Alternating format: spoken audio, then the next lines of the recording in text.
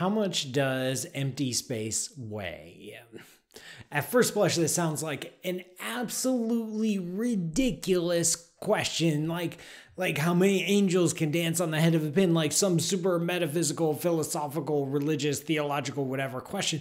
This is actually a physics question of how much does empty space weigh? And the value of the weight of empty space, or if you prefer, how much energy is contained in the vacuum, is appears appears in general relativity. And the first person to put it into the equations of general relativity was albert einstein himself.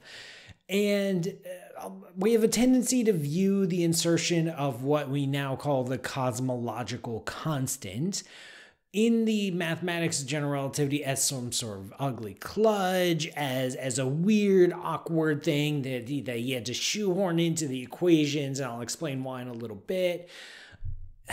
No. The equations of general relativity naturally allow the presence of an additional constant, of just a number, a single number that represents the weight of empty space, the energy or the mass contained in a patch of empty space naturally. It's a part of the mathematics for it to just appear there. Now, our instincts, our instincts would say, well, there's an extra term. We have no real physical meaning behind that term. Um, there's no preference to select one value the other, and there's no observation to tell us what it is. So, our natural inclination would be to make it zero. Like the weight of empty space is zero. We don't have to worry about it. It's fine. And that's what Einstein did at first, of course. But then he found something funny in his equations when they're applied to the whole entire universe. Because one of the craziest things about general relativity is how universally it applies and in how many different physical scenarios we can put the same set of equations to work. We can put it to work in the solar system explaining the orbit of Mercury. We can put them to work explaining the, the gravitational radiation emitted from two orbiting black holes. We can use it to explain the evolution of the whole entire universe.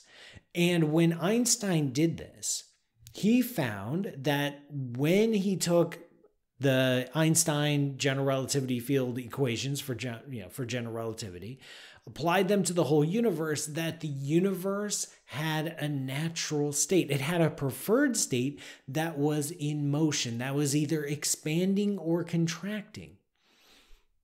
And this did not make Einstein happy because at the time, in the 1910s, when he was developing all this, as far as we knew, the universe was static as far as we knew, the galaxy, the, the stars would move around relatively slowly, but in apparently random directions.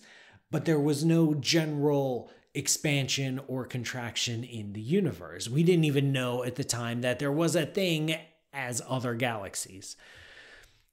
And so he had to add back in this term. Remember, the term is allowed to be whatever it is. This constant is allowed to have whatever value you want to have or whatever value is determined by observations.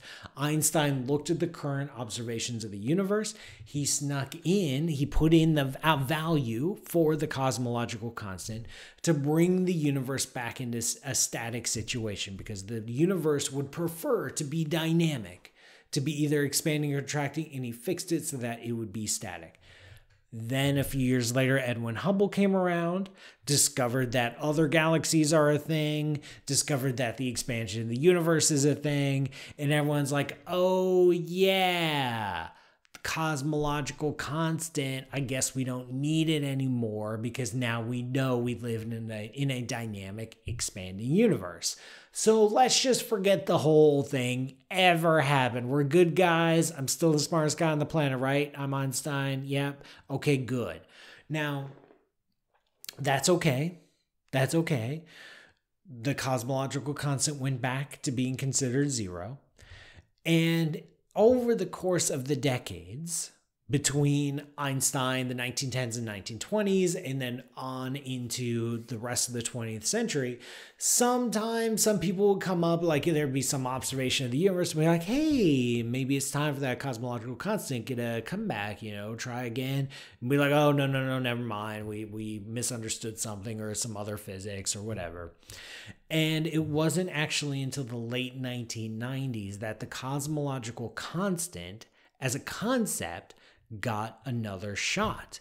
And this is through the discovery of the accelerated expansion of the universe. In 1998, two teams studying distant supernova found that these distant supernova were too dim. The outermost parts of the universe are too far away to be explained by simple cosmological models. The only explanation available that fits the data is that our the expansion of our universe is accelerating. Now, once you take that fact, okay, we live in a universe with accelerated expansion, you start to wonder how are we going to grapple with this with our mathematics? What tools are going to we are we going to use? And with general relativity, you can wonder, you can honestly wonder, maybe general relativity itself isn't up to the task maybe the equations that you know pass tests with flying colors inside the solar system inside the galaxy observing black holes all this is great and grand and wonderful. Maybe it just falls short of being a theory of the whole entire universe.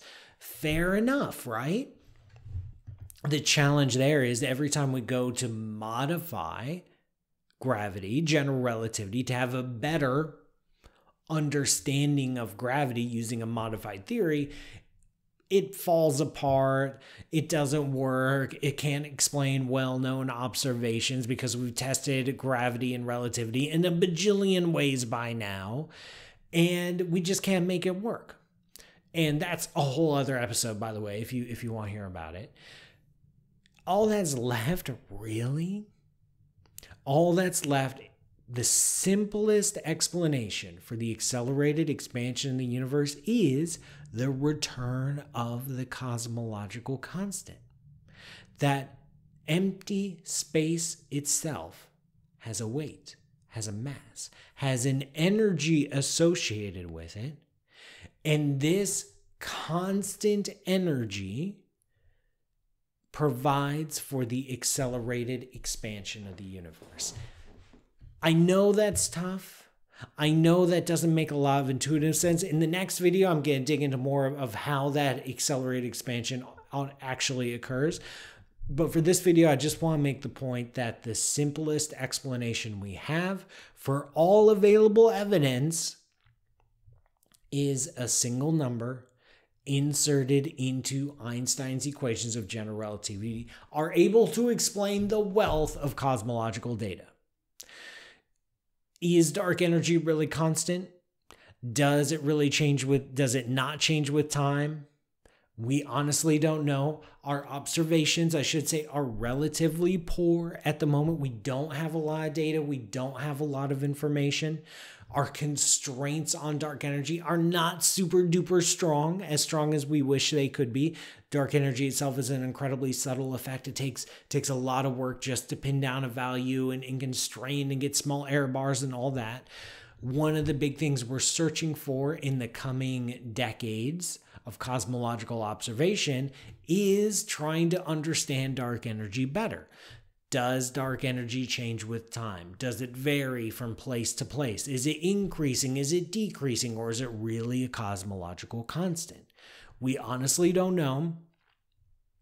Until then, we're going to act like it's cos- a cosmological constant because that is the simplest explanation for the data. Thank you so much for watching. I hope you enjoyed it. Please don't forget to subscribe, like the video, make sure you're notified when I go live and go to patreon.com slash pmsutter. There's a link somewhere around my face right now where you can help support all of my education and outreach. Thanks so much. See you next time.